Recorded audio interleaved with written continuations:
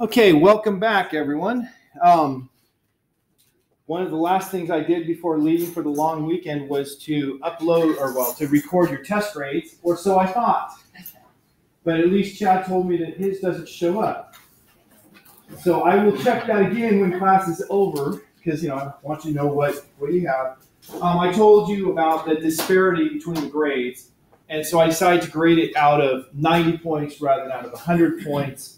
Um, the two high scores then go to to idiot scores. Um, I, I, say that because I, I, had a teacher who gave me a grade like that when I was in general chemistry. I thought it was dumb because then I didn't have to try for the rest of the semester.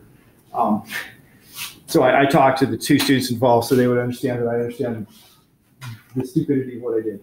But it, it makes everyone else's grade more reasonable because I do think the people were generally prepared. I know specifically one student who came and talked, he was very prepared and prepared the day before, and then the exam just things didn't work out. And so I want to want to take that into account. Um, have the two people have exam the actual exams, and we can talk about you know the the points, what was lost, and get our learning experience. Yes, Aaron.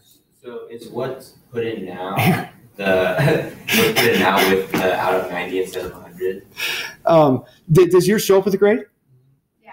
Okay, so okay, um, so so at least I got some of them in right. Um, it should show up with a score that says what it was out of 100, and then a percentage is calculated out of 90. Okay.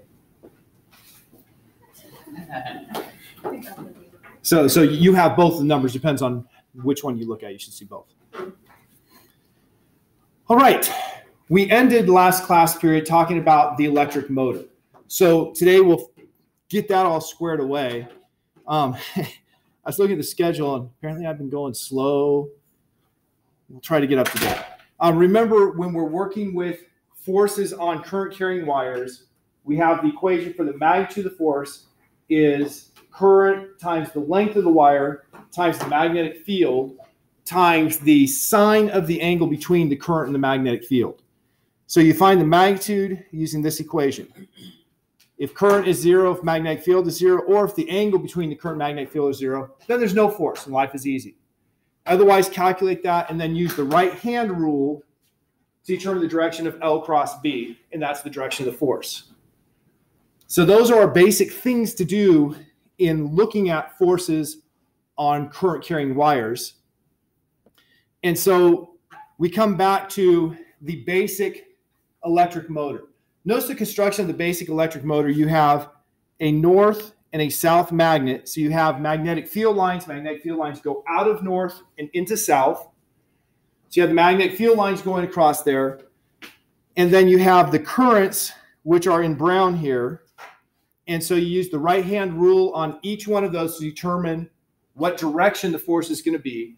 And we ended last class period talking about the net force on this motor is zero.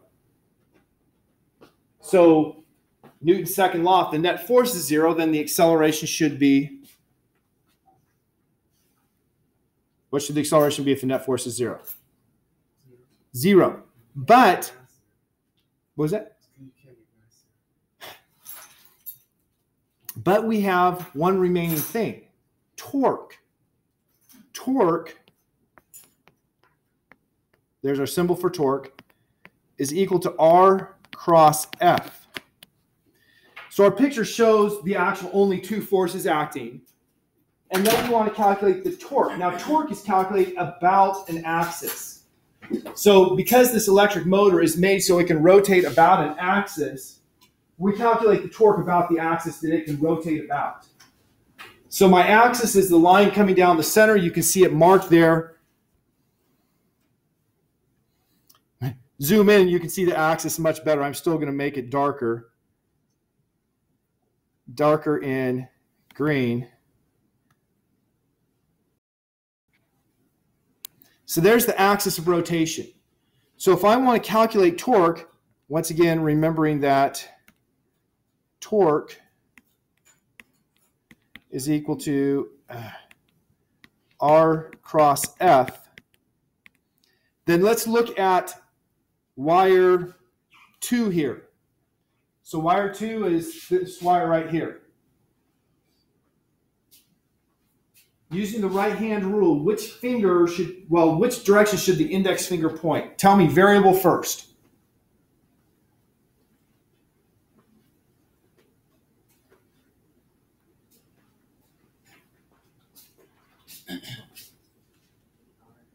R, right.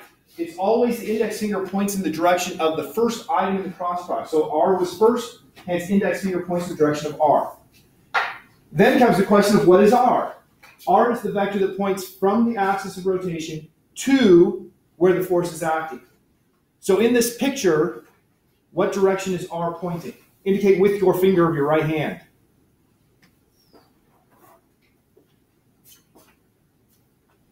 Okay. I see a total of about five fingers pointing. I want everyone to be involved.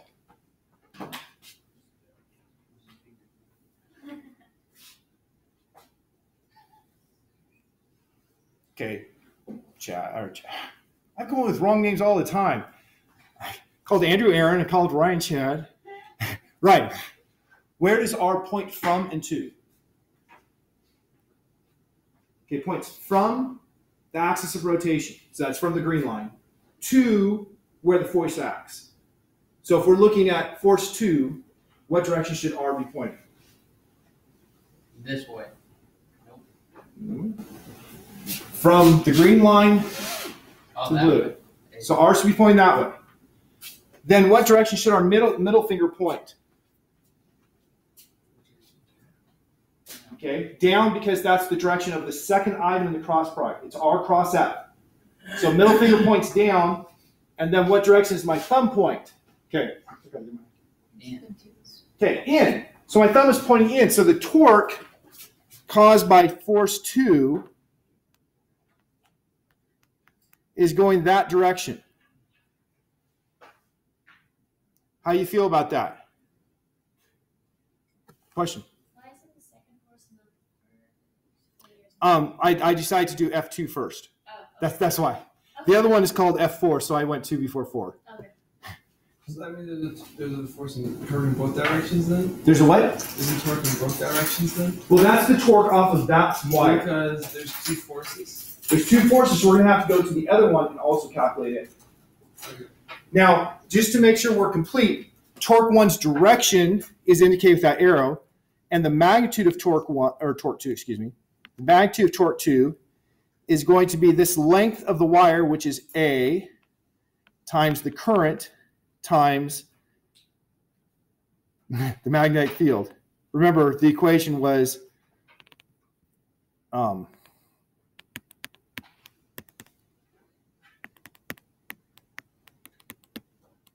IL cross B, and so the magnitude of the force was ILB sine theta, but the angle between the radius and the force here was 9 degrees, so sine 9 degrees is 1. I dropped it off.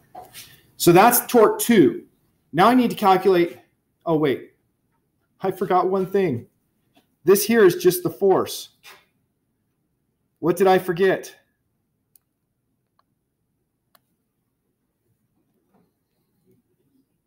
Torque is blank cross force. R, I've got to have the radius. What's the radius here? The radius was pointing like this. If it's B from left side to right side, then the radius is one half B.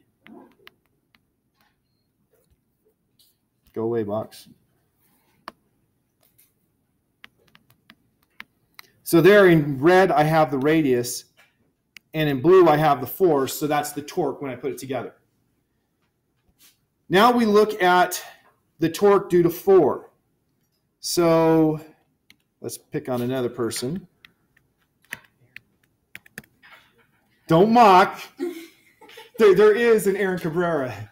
There, there was at school here, so at least I there, there's no Chad Dieter as far as I know. But um, let's go to Chad.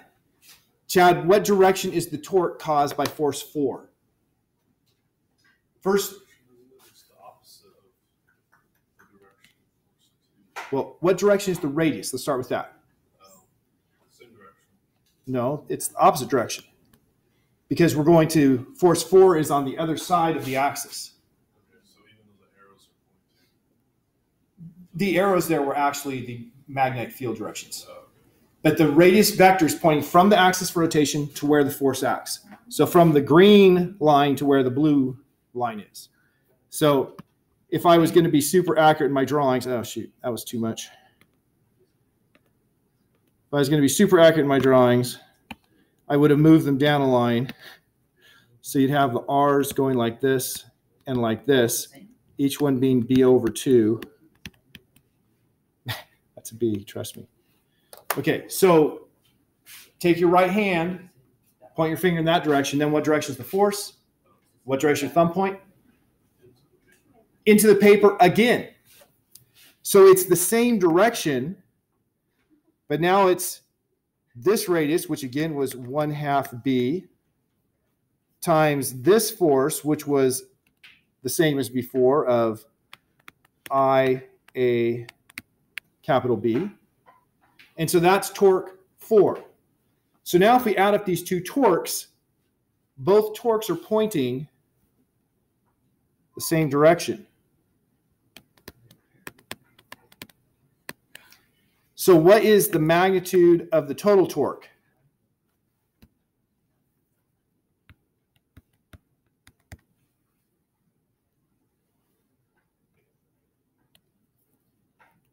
What do I get when I add those two up?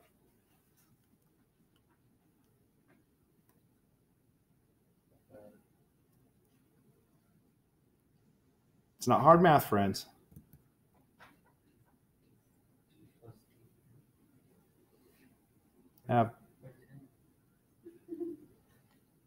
They're identical, right?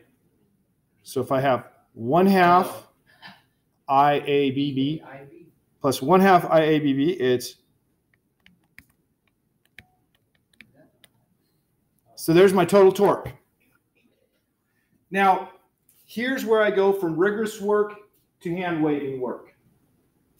If that's a rectangle of dimensions A and B, what would A times B represent? The area. That's true for this case. It turns out if we were to do the rigorous work, it'd be true for every case. So in every case, the net torque is equal to I A B. So if I make the area of my coil bigger, it's going to increase the torque. If I make the magnetic field bigger, it increases the torque. If I increase the, in, the current, it increases the torque. Of course, when we make an electric motor, we usually don't have a single coil. We make a bunch of loops. And if we make a bunch of loops, each loop is going to contribute the same torque. So the total torque would be the number of loops times this. And so if we have multiple loops, we add in n for the number of loops we have. Now you'll see this written all kinds of different ways, and I write it in this order so I never get confused. I can remember NBA, National Basketball Association. There's no I because I can't play basketball in NBA. So the torque is I NBA. That's the torque created by an electric motor. Maximum torque. Because this was in one configuration. What happens if it's I I'm sure I have a picture, but I'm just going to draw it. what happens if I have my magnetic fields like this? And I have my coil, so the axis is coming right out at you here. Current is going, let's say, in there and coming out here. Now, what's the radius going to be? The radius isn't going to be, well, the radius is this distance here still. That's still the radius. But now there's an angle between the radius and the magnetic field. And that angle between the radius and magnetic field is that angle. Right? So it's going to be a smaller torque because you have the radius that's perpendicular is not the full radius. It's only the perpendicular radius that is going to be useful to us. Now, with this said, we actually defined we defined the angle as the angle between the normal and the magnetic field. So we actually define the angle as this angle here. And with that angle, it turns out that the torque at any orientation is INBA sine of that angle. So sine of the angle between the area and the area is defined a direction that is normal to it. So sine of the angle between the area and the magnetic field. So the torque, if you go around the circle, sine gets as big as plus one, it gets as small as minus one. So it's going to have a torque that makes it start to rotate. When it gets to where the angle between the area and magnetic field is zero, that is when it gets to that orientation, then there's going to be no torque. No torque means no angular acceleration. Going back to Newton's second law the rotational form, alpha is equal to the net torque moment of inertia. Acceleration is going to be zero when you're in that orientation shown with the vertical dashed bar. And then if it goes past there, the direction of the torque is going to reverse. If you think about it very hard, that doesn't make for a very good motor. You start the motor like this, it has a torque to make it get like this, and then it's going to have the torque reverse to slow it down as it keeps going. And so, best case scenario, if I built, my motor very naively the way I've just shown, best case scenario is it goes like this. Just goes back and forth. Good luck going down the road with an electric motor that's doing that. So we have to do something to improve on it.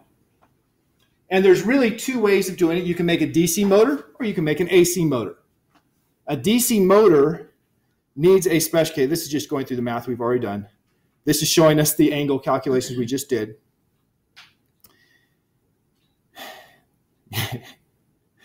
I just go past that. Um, yeah. How can an electric motor continue to operate with a DC battery? What we do is we make what's called a split commutator. Here is the split commutator. You have a, a pad right here and another pad that you can just barely see right there. And then these metal things are called brushes. Those the brushes are the contacts. And so you have your power supply going to those brushes, and then those pads are going to connect to one side or the other side of a coil. And so every half turn, your brushes change from one pad to the other. So the current was going, let's say, this direction.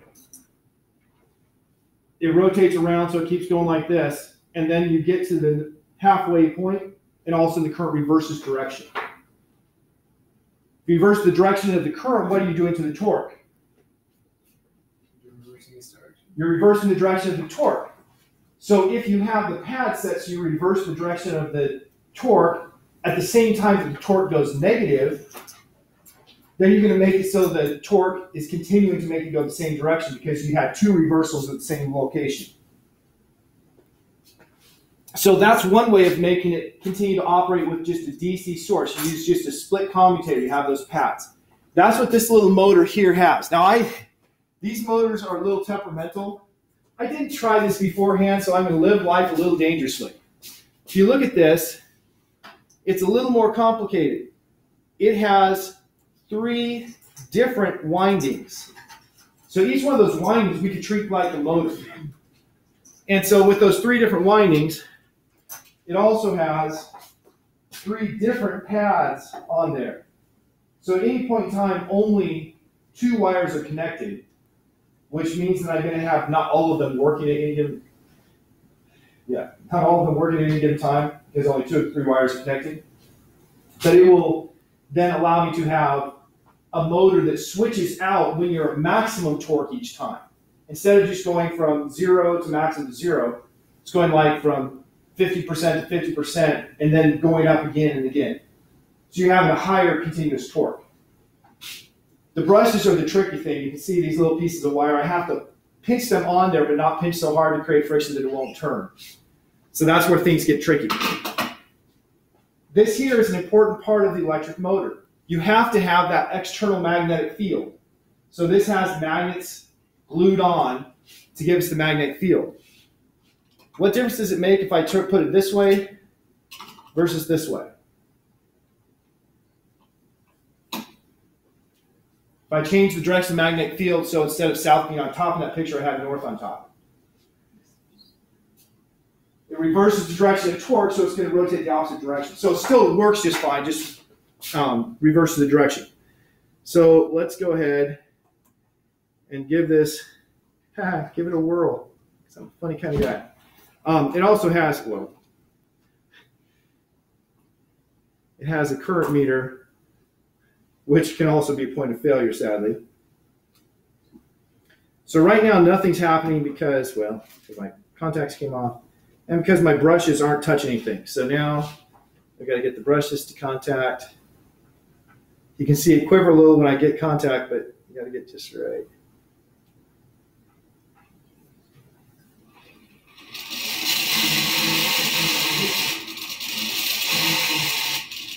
And apparently I have the wires in the wrong order because it's measuring no current. It doesn't show negative, it only shows positive.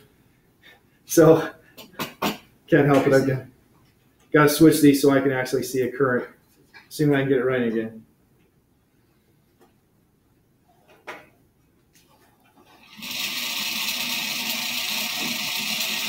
And it's using an average of about one amp of current to make the electric motor run.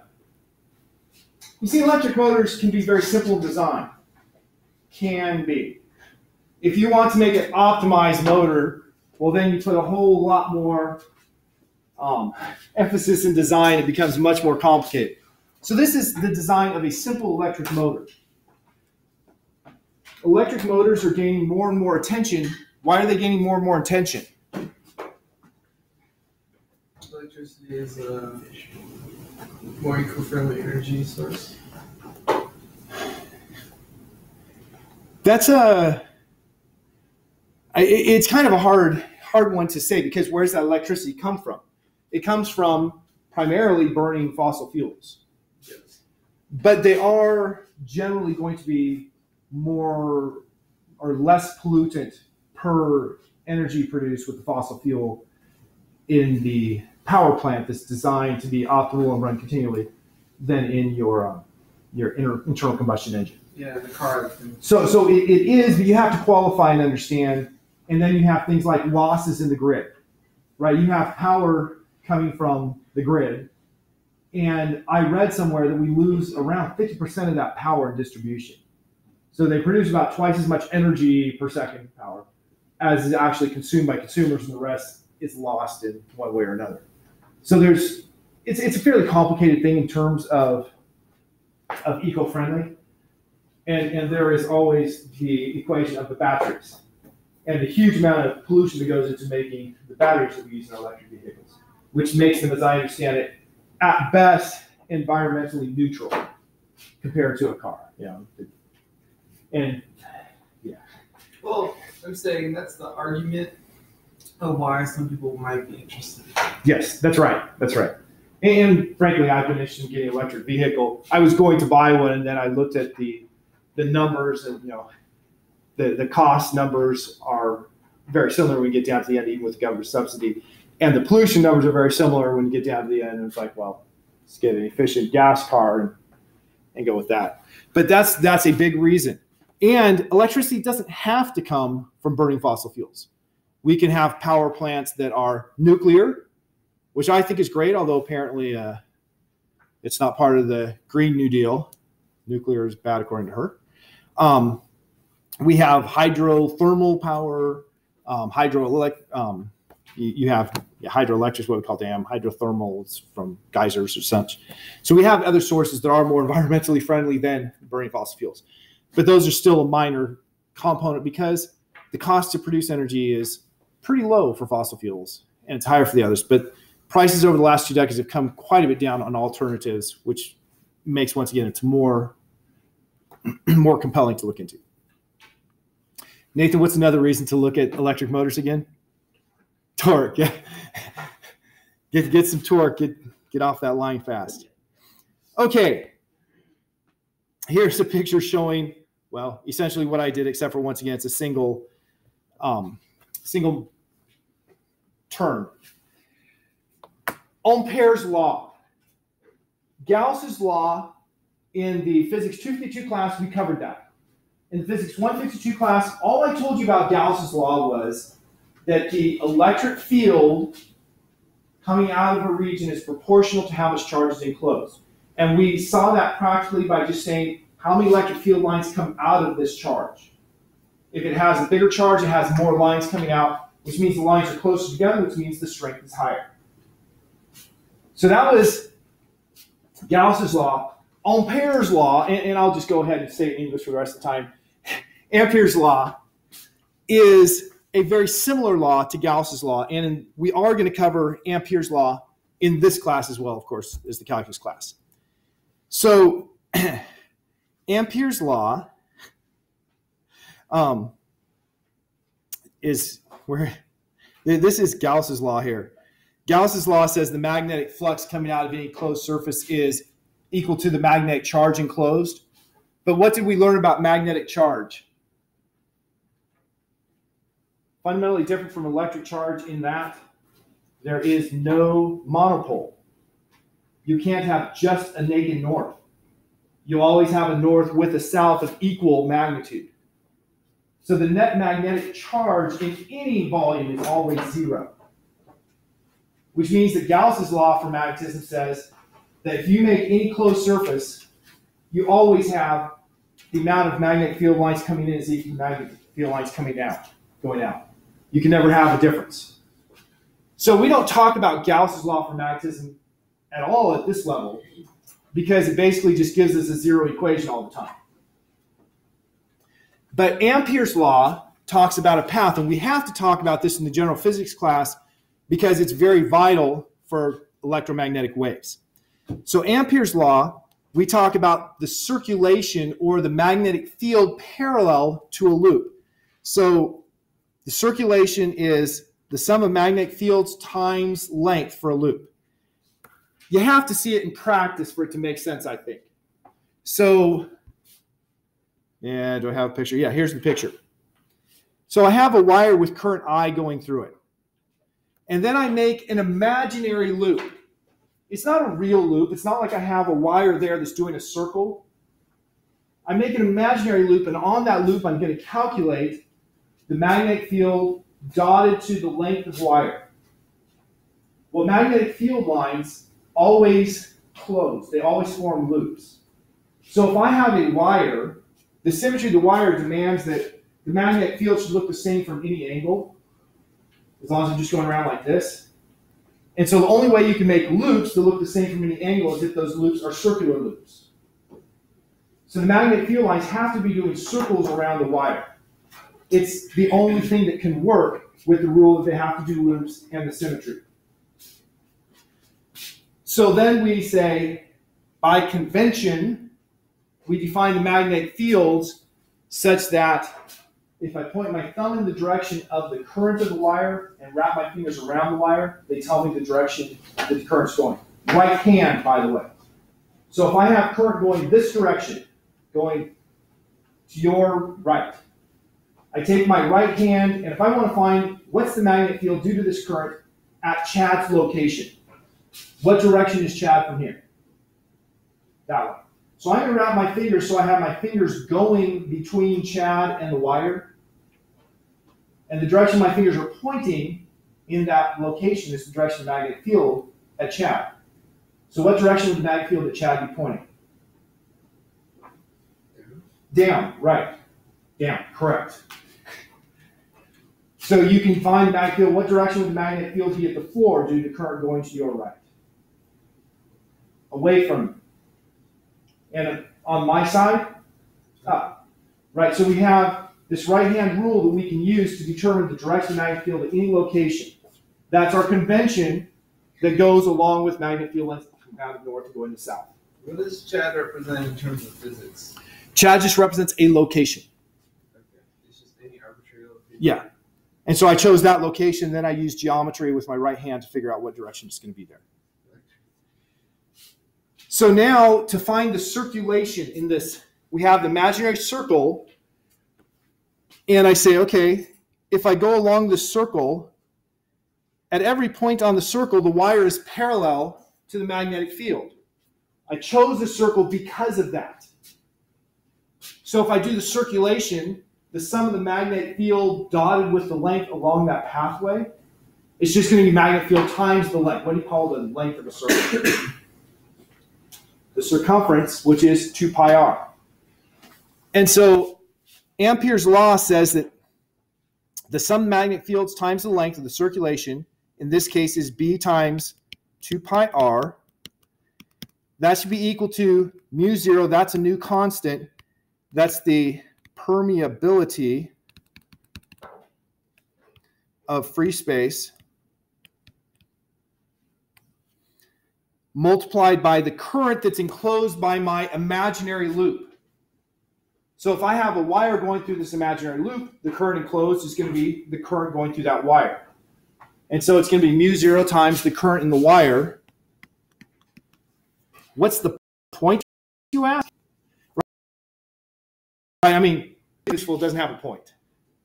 The point is now we can relate how much magnetic field is created by current going through a wire.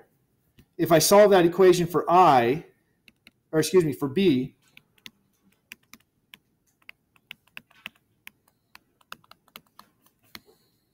I find the magnetic field due to current going through a wire is mu naught, that permeability of free space, times I, the current going through the wire, divided by 2 pi times the radius or the distance from the wire to where I'm checking the magnetic field.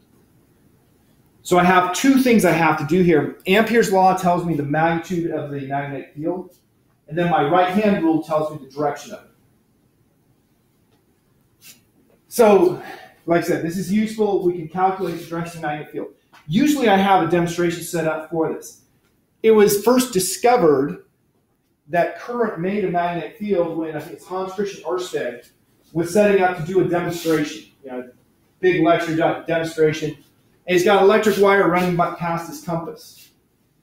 And then when he turns on the power for his electric stuff, he saw the compass needle move. Why would the compass needle move? Well, it moves in response to a magnetic field. And so it was here as he's getting ready for this big presentation, he makes a new discovery that current going through a wire creates a magnetic field. And then we have Ampere's law, Ampere's law, to give us what that actual relationship is. So we're going to use this in a few different geometries to make sure we understand Ampere's law. So, oh, first, yes, this is good to review. A wire's current current to the right on the screen. Current's going like that. What direction is the magnetic field produced by the current at the point directly below the wire? So what direction is the magnetic field? Okay. We have a confident into the screen. We get that answer by using the right hand rule. How should I use my right hand rule to get that answer? Okay, point your thumb in the direction of the current. Underneath, if I wrap my fingers, it's going into the screen. Got that? Yes. This seems good. Um, this here is a different situation. What's different about this compared to the situation I already did?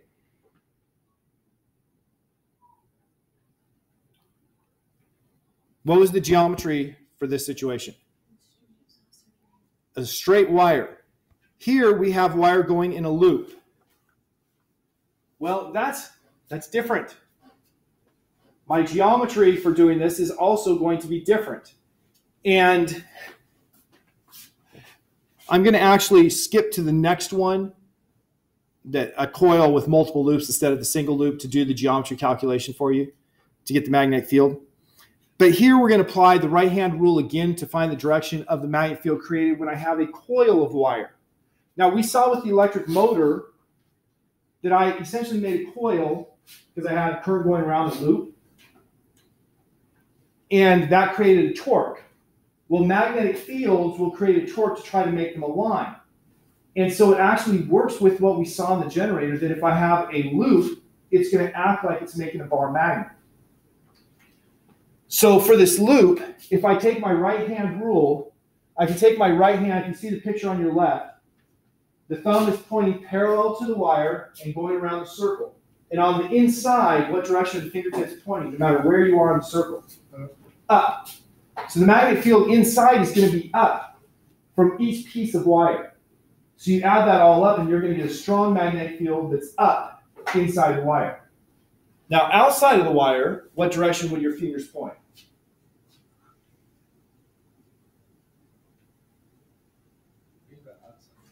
If you look on the outside, so on the inside here, your fingers are pointing up. What direction are they going to point on the outside?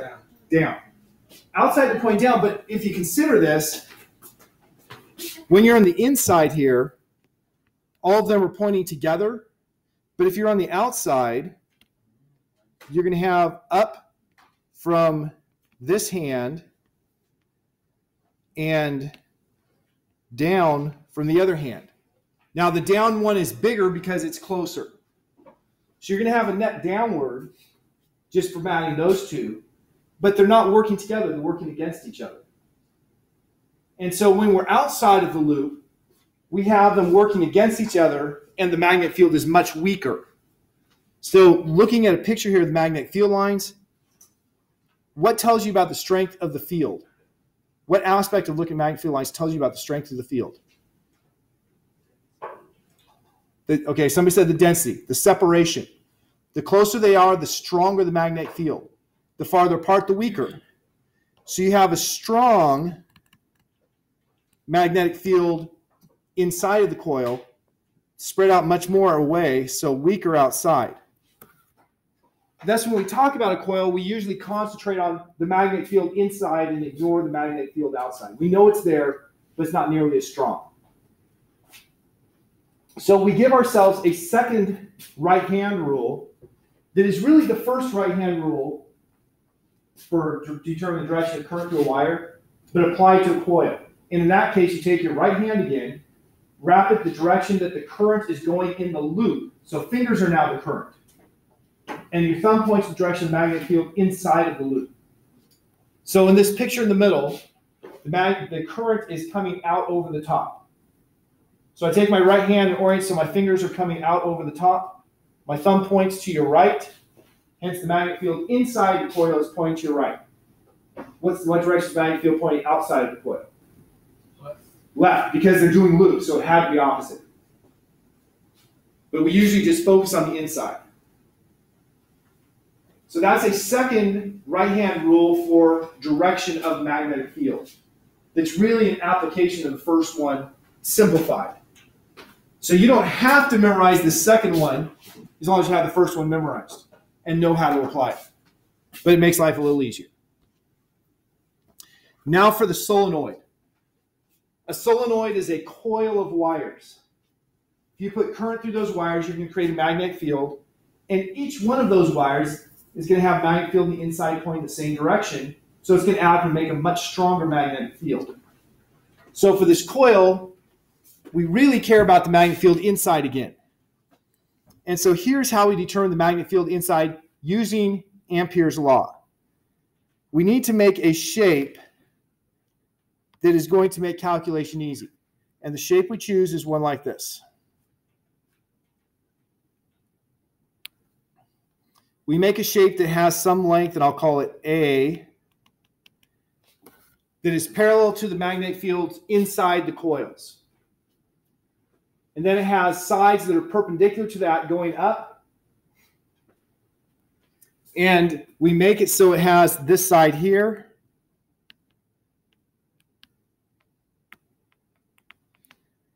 Approaching infinity. Now you might look at that and say, wait, how realistic is this? Frankly, I don't care. This is an imaginary shape that I use for calculational purposes. We also make A so it's really, really tiny. If A is really, really tiny, then I'm going to have the magnetic field lines on either side. I shouldn't have done that. The magnetic field lines here and here are both going to be the same angle, roughly perpendicular to the wire. So when I apply Ampere's law, Ampere's law says the sum of the magnetic field dotted to lengths on the entire loop is equal to mu naught times the current enclosed.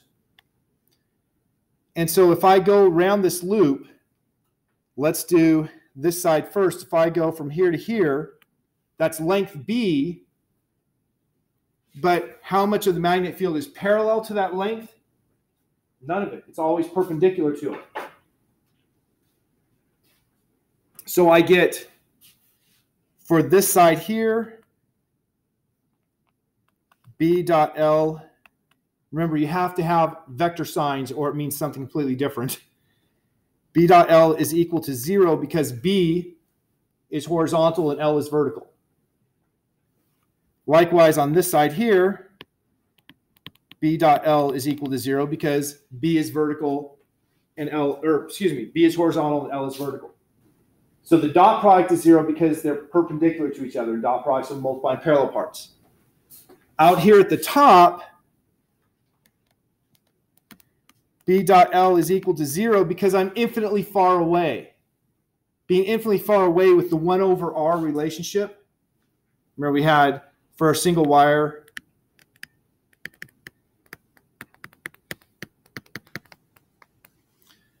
So for each individual wire, the magnetic field out there is zero because you're infinitely far away. You add a bunch of zeros up and you still get zero. And so B dot L is zero for three of the four sides. I have one side remaining. Inside, it's going to be B times A.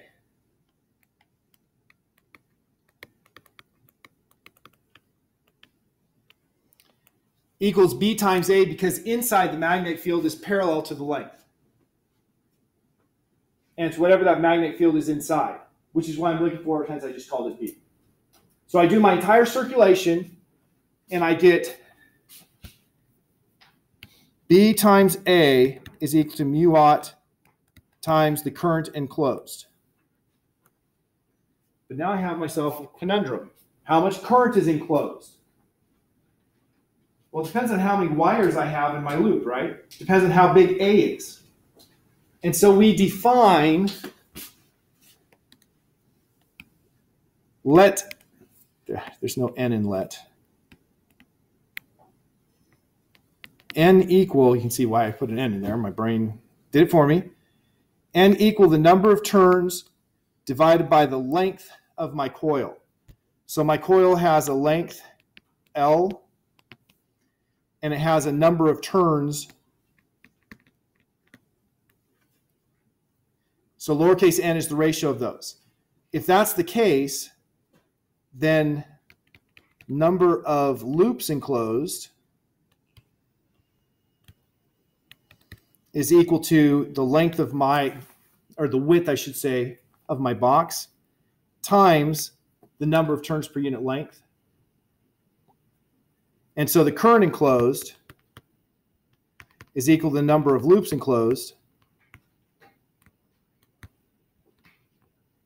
times the current going through each loop. And now I can complete my calculation. So I have B times A is equal to mu naught times A and I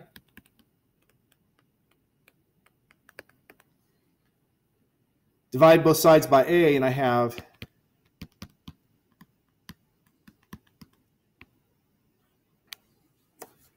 the magnetic field inside of a solenoid is mu naught times the number of turns per unit length times the current.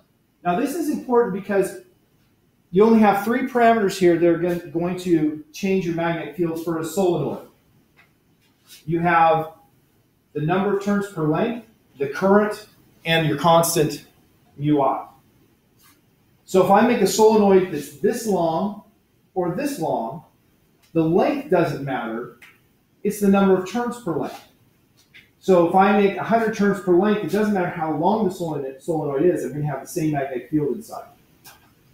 So it's just how many wires you have per unit length that matters. So when you're making your solenoids, like I don't know if anyone's making one for their projects, I forgot the key to getting a big magnetic field is to have a bunch of loops close together. It's not to have a long coil. And I have five minutes left. I will now go back to this. To actually get this equation here, this is for a circle. Current going in a circle. I actually used calculus to get that. So that's why I skipped over it. So the magnetic field at a single circle, the center is mu naught ni, and I said a single circle. And then I have n. n is number of loops. This here is for a proverbial special case where you have no length at all to a solenoid.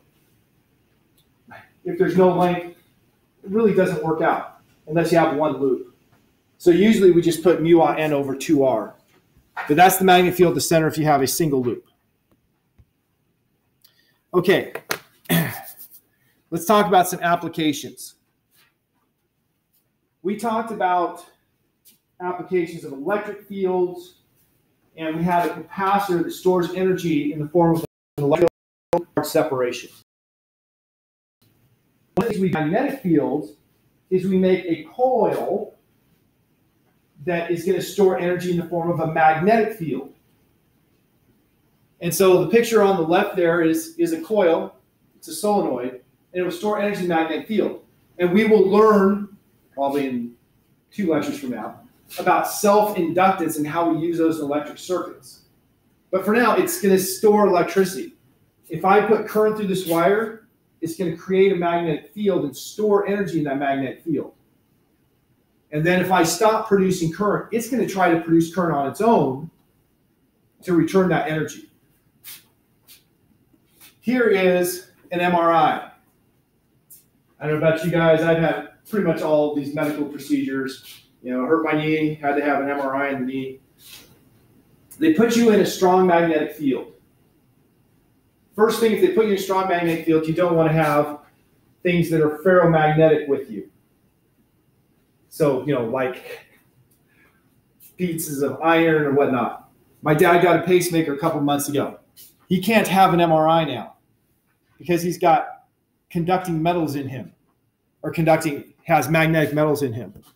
If they put him in one of these, you put a strong magnetic field in ferromagnetic material, you create a net force and it's going to be pulling on his heart, and that's not good. So people who have screws in their legs and stuff, if those screws are made out of material that's magnetic, you can't do an MRI on them because it's not safe. And of course, research grade MRIs. Um, do you guys know what MRI is? What does it stand for? Magnetic resonance imaging. When I was a child, it was NMR, nuclear magnetic resonance. And everybody was like, oh, it's nuclear, it's danger, danger. And so they changed the name so people wouldn't be scared. What's going on here is we are looking at the magnetic properties of the nuclei of atoms. Atoms, each atom has a nucleus. We're looking at the magnetic moments, i.e., the spin, because spin is the name it gives the magnetic moment, of the nuclei in the atoms. And so to look at the spin, you have to create first a very strong magnetic field, and then you perturb it with a, an alternating magnetic field, and you see if you can make them flip. So they need strong magnetic fields. And one way of making them would be to make a continuous coil like this. But a cheaper way is to make what's called a Helmholtz coil. A Helmholtz coil has just two coils separated by a distance equal to the radius of the coil. And with that geometry, it turns out that you create a strong magnetic field that's uniform throughout this entire region as if it was like this. And so that's generally what you're going to do is use Helmholtz coils, create that strong magnetic field. And on that, I will stop. And I'll come back here and stop the recording too.